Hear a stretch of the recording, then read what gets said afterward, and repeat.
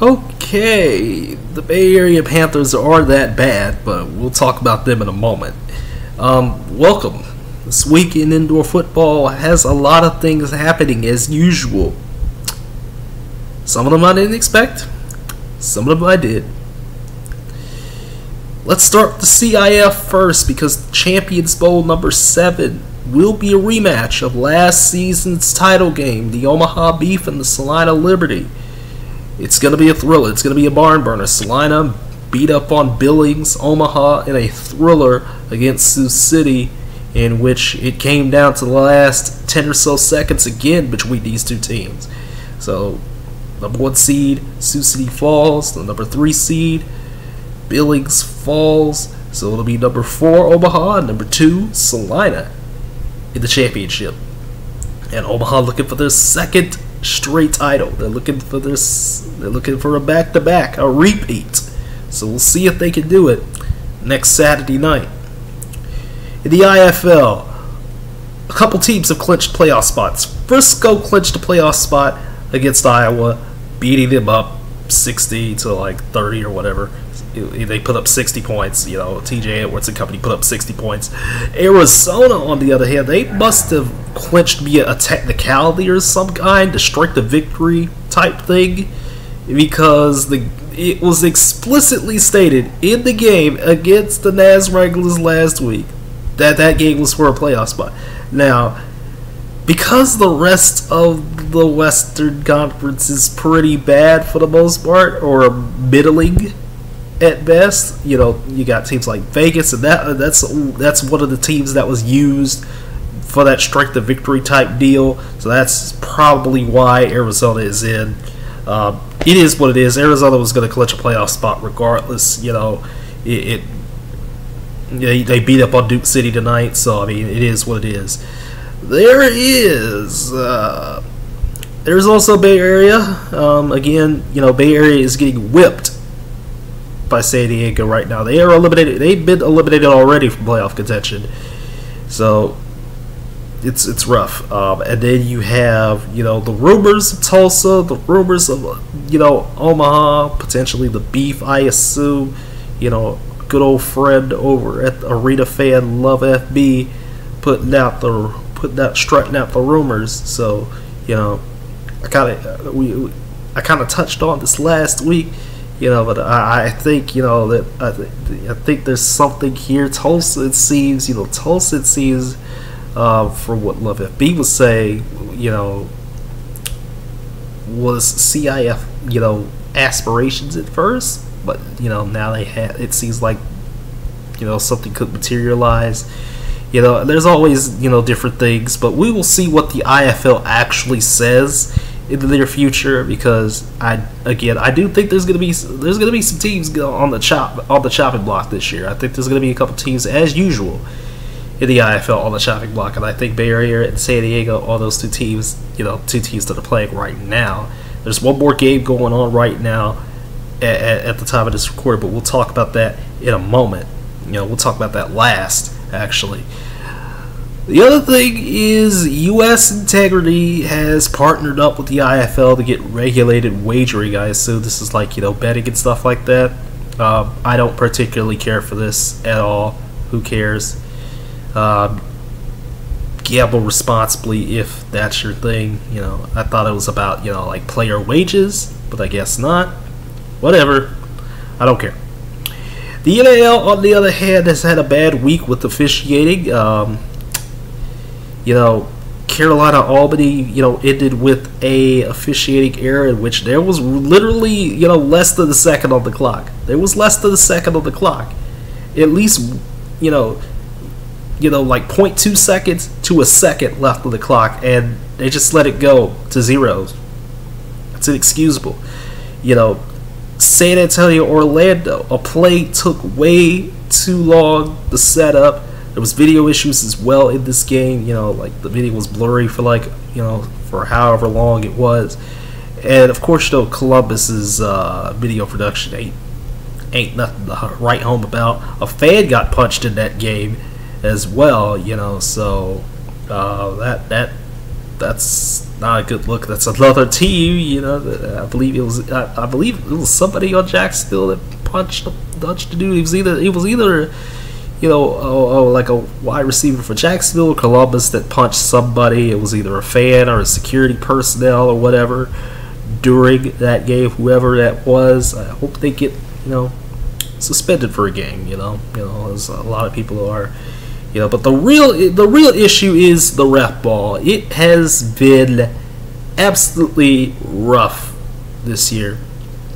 Um, now 2020, you know, 2021, you know, I, I to say 2021 first. 2021, you know, I, I could kind of excuse it because you know, you know, it is what it is. You know, teams not played in over a year, stuff like that. But this season, the refs have gotten out of hand. NAL games should not be taking three plus hours. They should not be taking three plus hours, guys. This is inexcusable. I'm not here for a three hour plus game. I'm not here for an NFL game. I'm here for the NAL. I'm not here for the National Football League. I'm here for the National Arena League. I'm here for, you know, two hours, two and a half, two hours and 45 minutes of good arena excitement. And that is not happening. These games have been going, you know, way over three hours, you know, at this point. You know, some games have even gone four hours. And that's just not cool. You know? We, we, we got to speed the pace of playoffs. Something's got to give here, you know. The playoffs are taking shape as well, you know. So like there's only a few weeks left of the season, so you know something's got to give as well in the NAL. You know teams are fighting. You know San Antonio's won two straight, Orlando, Jacksonville. You know kind of in a weird spot. You know Carolina, Columbus, they're in good positions right now. Albany's in a weird place too, and it is what it is. Now let's go down to the lower level leagues, the splitters. You know, the first off, the splitter leagues. Let's talk about them. Oh my goodness, my goodness. The Mississippi Raiders will be taking on the Tampa Bay Cyclones in the AIFA championship game.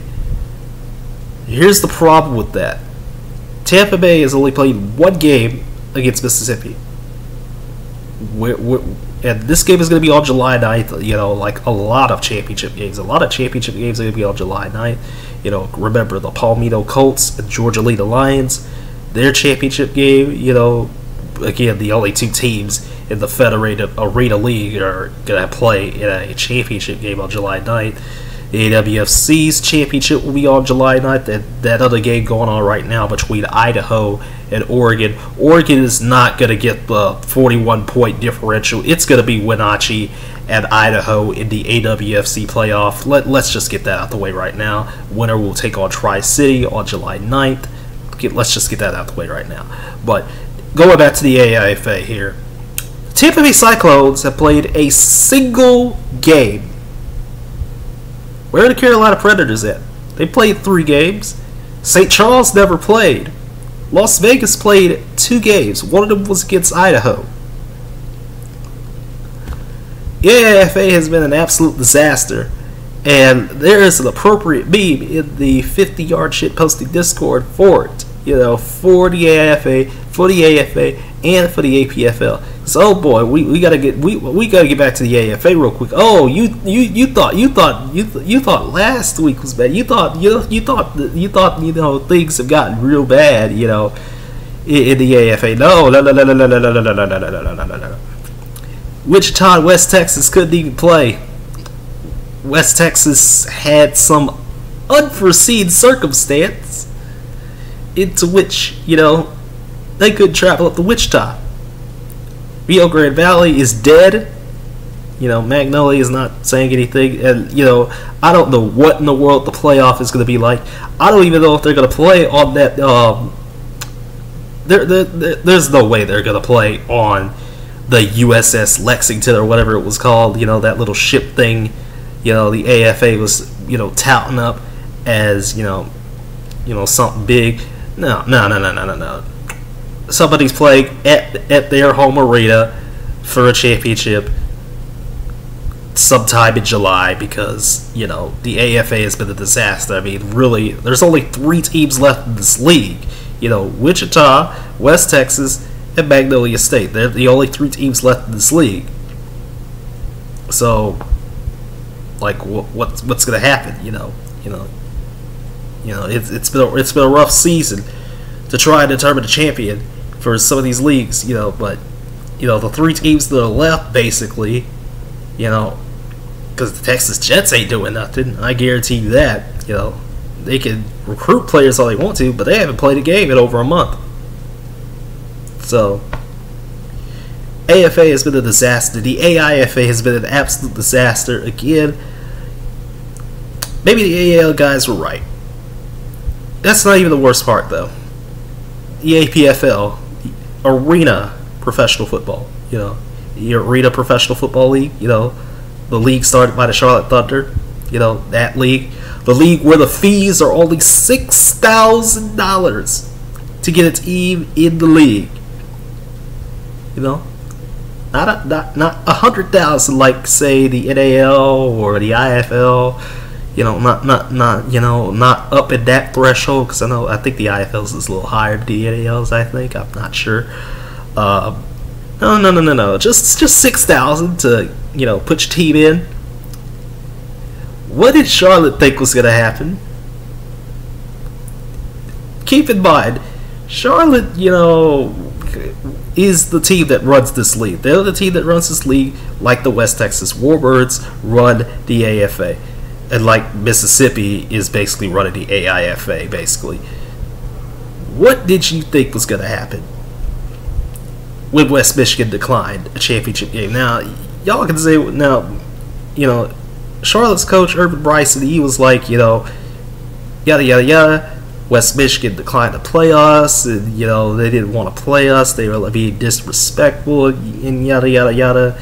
You know, and I, I I can't find anything on this at all. Like, who knows what the actual beef is? Because I don't see it on any social media. They say they say it's on social media, but I don't see it. I don't see it because you know West Michigan said we're do- we're done on July oh not July fourth June the fourth. They said they were done two weeks ago. They said their season was done two weeks ago. You know, after they beat up on the Carolina Predators, of course. So, what what did you think was going to happen with the league with only two teams in it? You know, you, you can't be lower level like you know like the FAL just be like, oh yeah, we're going to play a championship on July 9th, even though we've only played like two or three times against each other. Keep in mind, Charlotte was scheduled to play West Michigan, you know, either twice at, at one point or four times at one point, and then Charlotte had to manipulate their schedule. You know, they had the they changed their schedule like 17 times throughout the season. And then you, you, you got and then you got Charlotte's head coach whining and crying about you know oh well the the you know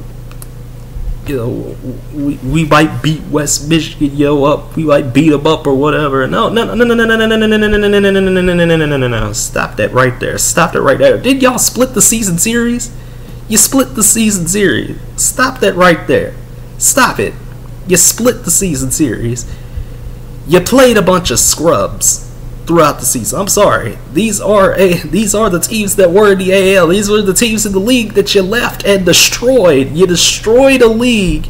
You you guys, along with the AFA, along with the AFA, you guys destroyed a league. Even though it was a bad league, you created three worse leagues. Three leagues that are even worse to follow throughout the season. You played a bunch of scrubs. You played a bunch of tier 3 scrubs. You are a tier 3 team. You play tier 3 teams, you know, teetering on tier 4, honestly, because I don't I don't I don't know what tier 4 is, but I'll tell you one thing, you know. I'll tell you one thing. Playing scrubs ain't gonna get you nothing.